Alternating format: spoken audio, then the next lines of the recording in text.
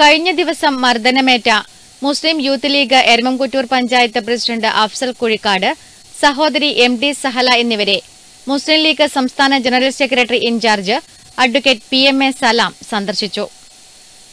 കഴിഞ്ഞ ദിവസം മർദ്ദനമേറ്റ മുസ്ലിം യൂത്ത് ലീഗ് എരമംകുറ്റൂർ പഞ്ചായത്ത് പ്രസിഡന്റ് അഫ്സൽ കുഴിക്കാട് സഹോദരി എം ഡി സഹല എന്നിവരെ മുസ്ലിം ലീഗ് സംസ്ഥാന general secretary incharge advocate P M A Salam സന്ദർശിച്ചു. ഈ കുടുംബം ഭീഷണിയുടെ നിഴലിലാണ് ജീവിക്കുന്നതെന്നും സ്വൈര്യമായി ജീവിക്കാനുള്ള അവസരം ഉണ്ടാക്കുന്നില്ലെന്നും കുറ്റവാളികൾക്ക് പോലീസ് സുരക്ഷ നൽകുകയാണെന്നും അദ്ദേഹം പറഞ്ഞു. ഈ കുടുംബം ഇവരോട് ബന്ധപ്പെട്ട ആളുകളൊക്കെ ഭീഷണിയുടെ നിലയിലാണ് ഇപ്പോൾ ജീവിക്കുന്നത്. ഇവർക്ക് കട തുറക്കാൻ ഇതുവരെ സാധിച്ചിട്ടില്ല. അതുപോലെ തന്നെ കുട്ടികൾക്ക് വിദ്യാഭ്യാസത്തിന് പ്രയാസമുണ്ട്. കോളേജിൽ പോകാൻ പേടിയാണ്.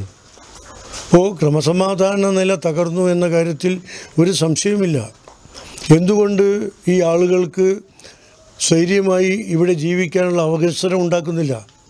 പോലീസിനെ അതിനുവേണ്ടി ഉപയോഗപ്പെടുത്തുന്നില്ല. പോലീസ് കുറ്റവാളികൾക്ക് ക്രിമിനൽസിന് സുരക്ഷ നൽകുകയാണ്. അവരോടൊപ്പം നിൽക്കുകയാണ്. അതുകൊണ്ട് തന്നെ സാധാരണക്കാരൻ ഇവിടെ ഭീതിയുടെ നിഴലിലാണ്. അടിയന്തരമായി ഈ സാഹചര്യത്തിന് മാറ്റം വരണം. സ്വൈര്യമായി സ്വന്തം അഭിപ്രായ പ്രകാരം ജീവിക്കാനുള്ള സമാധാനപരമായി ജീവിക്കാനുള്ള അവകാശത്തിന് വേണ്ടിയുള്ള സമരം ആരംഭിക്കേണ്ടി വരും. സർക്കാരിന്റെയും ഭരണകൂടത്തിന്റെയും പോലീസിന്റെയും ഒക്കെ തെറ്റായ ഇത്തരം നിലപാടുകൾക്കെതിരെ ഒരു നിലക്കും സഹകരിക്കാൻ കഴിയാത്ത അംഗീകരിക്കാൻ കഴിയാത്ത ഈ നിലപാടിനെതിരെ ശക്തമായ പ്രക്ഷോഭങ്ങളുമായി മുന്നോട്ട് പോകേണ്ടി വരും.